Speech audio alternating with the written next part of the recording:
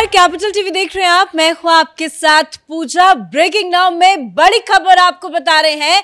अरविंद केजरीवाल को supreme court से बहुत बड़ा झटका लगा है। अरविंद केजरीवाल हाईकोर्ट के फैसले के खिलाफ सुप्रीम कोर्ट पहुँचे थे और तत्काल सुनवाई की गुहार लगाई थी, लेकिन सुप्रीम कोर्ट ने तत्काल सुनवाई से साफ़ साफ़ इनकार कर दिया। सुप्रीम कोर्ट ने केजरीवाल के वकील को कहा कि पहले आप अपनी समस्या को मेल कीजिए, उसके बाद उस पर विचार किया जाएगा। मतलब आज कोई राहत अरविंद केजरीवाल को सुप्रीम कोर्ट की तरफ़ से नहीं मिली है। कल हाईकोर्ट ने केजरीवाल की गिरफ्तारी को सही बताया था और हाईकोर्ट का यह कहना था कि केजरीवाल की गिरफ्तारी वैध तरीके से ही हुई है, कानूनी प्रक्रिया के तहत ही हुई है। तो ऐसे में आज सुप्रीम कोर्ट से भी बहुत बड़ा झटका लग गया है। क्या कुछ हुआ सुप्रीम कोर्ट में आपको बताएँगे। साथ ही अरविंद केजरीवाल को राउज एवेन्यू कोर्ट से भी बड़ा झटका लगा है। उसकी भी डिटेल्स देंगे। मेरे साथ जुड़े हैं कैपिटल टीवी के executive editor Rajiv ji sir क्या कुछ हुआ आज सुप्रीम कोर्ट में? देखिए, सबसे पहले तो बात यह है कि अभिषेक मनु सिंघवी जैसे वकील, ये समझते हैं कि सुप्रीम कोर्ट में सीजीआई के पास जाएँ और वहाँ पर जाते ही हम जो याचिका लेकर जाएँ, उस पर ये लोग खाना पीना छोड़कर बैठ जाए। क्योंकि इनके पास तो सारे वीवीआईपी केस होते हैं बड़े बड़े लोगों के मुकदमे लड़ने वाले ये लोग हैं और इसलिए करोड़ों के वकालत की फ़ीस लेते हैं और सुप्रीम कोर्ट हाई कोर्ट में चाहते हैं कि जैसा हम बोलें जज वैसा ही करे। लेकिन ऐसा हुआ नहीं क्योंकि हाई कोर्ट के बाद सुप्रीम कोर्ट में इतनी जल्दीबाजी में जाने के पीछे की आम आदमी पार्टी और अरविंद केजरीवाल की एक दूसरी वजह है। इस पर बाद में चर्चा करेंगे। लेकिन ये आनंद फानन में सुबह सुबह सुप्रीम कोर्ट चले गए कि हमें तत्काल सुनवाई की ज़रूरत है। क्यों तत्काल सुनवाई की ज़रूरत है? सबसे बड़ा सवाल तो यही है कि आपको एक दिन के अंदर हाई कोर्ट के फैसले के बाद तत्काल सुनवाई की ज़रूरत क्यों है? अरविंद केजरीवाल 15 अप्रैल तक हिरासत में है जुडिशियल कस्टडी में। आप अरविंद केजरीवाल की गिरफ्तारी के वैधता पर सवाल खड़ा कर रहे हो, आप बेल पिटीशन नहीं दे रहे हो। बेल पिटीशन देते तो फंस जाते इसके लिए आप आगे की रणनीति तैयार कर रहे हो कि जमानत की याचिका बाद में दी जाएगी, कुछ समय और गुजार लेने दो। लेकिन इससे पहले आप लीगलिटी पर सवाल उठा रहे हो कि उनकी गिरफ्तारी लीगल है या इलीगल है। अब हाई कोर्ट ने इलीगल और लीगल के चक्कर में कुछ ऐसी बातें कर दी है, जिसके बाद आम आदमी पार्टी में बेचैनी बढ़ गई। अरविंद केजरीवाल को पूरी तरह से कॉन्स्पिरेटर साबित कर दिया और उसके एक एक फैसले पर जो सवाल सिंघवी ने उठाए, उन सारे सवालों का एक एक करके जवाब दिया। लोगों को लग रहा था कि हाई कोर्ट में जब इस मामले की लीगलिटी पर सुनवाई हुई, उसके बाद जज साहब को ऐसा क्या लगा कि दो दिन तक फैसले को सुरक्षित रखा। जब फैसला आया तो समझ में आया कि इन लोगों ने जितने सवाल उठाए थे वो सवाल पॉलिटिकल मोटिवेटेड भी था और वो सवाल ऐसा था जिसके ऊपर जवाब देने के लिए ईडी के एक एक सबूत को सामने रखना जज साहब के लिए ज़रूरी था। इसलिए इनके सारे सवालों का जवाब दिया कि आप पॉलिटिकल बातें कर रहे हैं, यहाँ पर आ गए और अभी कह रहे हैं कि चुनाव के पहले हमें गिरफ़्तार किया गया, जबकि समन तो अक्टूबर से चल रहा था। इसलिए आपने गड़बड़ियाँ की है, गलतियाँ की है, चाहे अप्रूवर का मामला हो या फिर दूसरे स्तर पर अप्रूवर को गलत साबित करने का मामला हो या फिर हवाला रैकेट के ज़रिए गया पैसे को रिकवरी ना होने का मामला हो, सारे एक एक पॉइंट में जवाब दिया गया, जिससे आम आदमी पार्टी भी फंसती नज़र आ रही है, कंपनी एक्ट और रिप्रेजेंटेशन और पीपुल एक्ट। ये दोनों को समान तरीके से बताकर उन्होंने अब आम आदमी पार्टी के ऊपर तलवार लटका दी, जिसके कारण इन लोगों को लगा कि सुप्रीम कोर्ट में कोई राहत मिलेगी। क्योंकि कल से आम आदमी पार्टी के नेता मैदान में उतरे थे तो एक उदाहरण दे रहे थे। और वो उदाहरण था कि संजय सिंह के मामले में सुप्रीम कोर्ट ने इसी मामले में शराब का फैसला पलट दिया। शराब घोटाले में हाई कोर्ट का फैसला पलटते हुए राहत दी है जमानत दी है। तो केजरीवाल को क्यों नहीं? सबसे पहली बात तो यही है कि आप जमानत के लिए सुप्रीम कोर्ट नहीं जा रहे। आप वैधता की बात कर रहे हैं कि गिरफ्तारी वैध है या अवैध है। दूसरी बात यह है कि संजय सिंह के मामले में भी सुप्रीम कोर्ट ने साफ़ तौर पर कहा था कि ये person to person case to case vary करता है।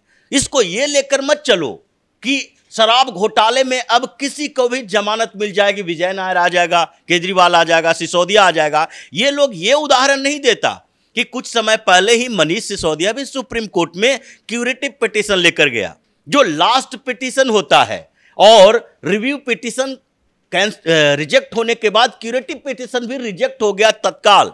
इस बात का आम आदमी पार्टी का कोई नेता ज़िक्र नहीं करता, लेकिन संजय सिंह की जमानत का बार बार ज़िक्र कर रहा है। तो जैसे ही अभिषेक मनु सिंह भी सुप्रीम कोर्ट में याचिका दायर किए सीजीआई से कहा कि, मिलॉर्ड, हमें अभी तत्काल सुनवाई होनी चाहिए। अगर तत्काल सुनवाई नहीं हुई तो जिस तरीके से पॉलिटिक्स चल रही है, आम आदमी पार्टी तो पिछड़ जाएगी। अरविंद केजरीवाल हमारे स्टार नेता हैं। और आम आदमी पार्टी के लिए सर ये जो हड़बड़ाहट है आपने मुसीबतें तो बताई कि कैसे केजरीवाल फंस चुके हैं लेकिन ये जो आम आदमी पार्टी की अभिषेक मनु सिंघवी की हड़बड़ाहट है कि जल्द से जल्द सुनवाई हो तत्काल सुनवाई हो उसके पीछे की वजह क्या है? उसके पीछे की सबसे बड़ी वजह जो है वो है हाई कोर्ट की वो टिप्पणियाँ।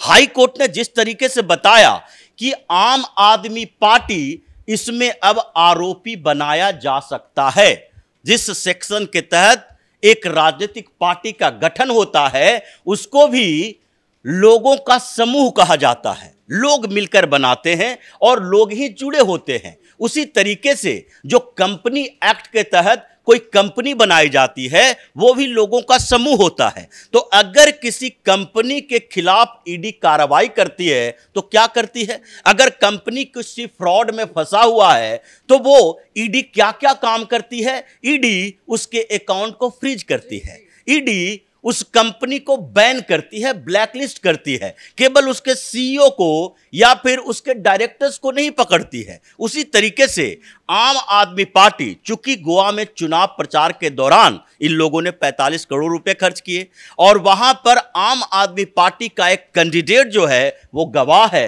अब गोवा में चुनाव प्रचार के लिए आपने इलीगल तरीके से पैसे खर्च किए। अब वहाँ पर आपके जो विधायक हैं चार उन्हीं विधायकों के आधार पर आपने राष्ट्रीय पार्टी की मान्यता ली।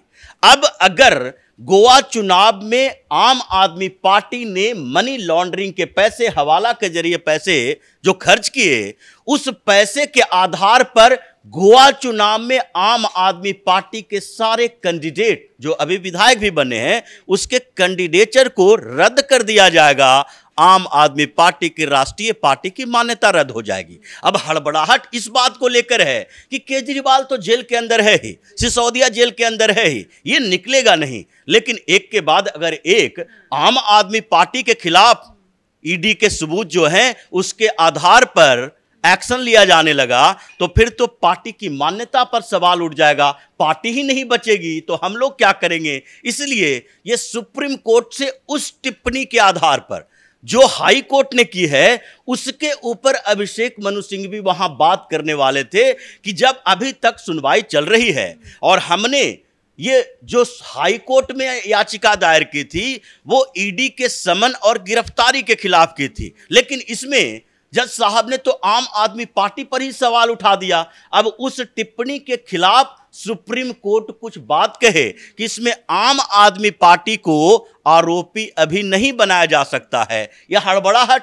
इस बात को लेकर है। इसीलिए केजरीवाल के बारे में इन लोगों को पता है कि सुप्रीम कोर्ट भी गिरफ्तारी को अवैध नहीं ठहराएगी। यह पहला मामला नहीं है। हाई कोर्ट में जो फैसला हुआ, उसमें भी उन्होंने बंसल बनाम union of India on others et others के मामले का सुप्रीम कोर्ट का ज़िक्र हाई कोर्ट के जज ने किया कि उस मामले में सुप्रीम कोर्ट ने यही बातें कही थी कि किसी गिरफ्तारी को अवैध तब तक नहीं कहा जा सकता जब तक कि उसके लिए जो इन्वेस्टिगेटिव एजेंसी है, उसके पास कोई आधार ही न हो। यहाँ तो कई आधार हैं। कॉन्स्पिरेसी का आधार है। यहाँ आपने दो दो भूमिकाएँ निभाई। आम आदमी पार्टी के नेशनल कन्वेनर होने के कारण भूमिका निभाई, आप चीफ मिनिस्टर होने के कारण एक्साइज पॉलिसी को बनाने में भूमिका निभाई। तो आपकी भूमिका डुअल तरीके से है, इसलिए केजरीवाल तो फंसा है। आम आदमी पार्टी को बचाने के लिए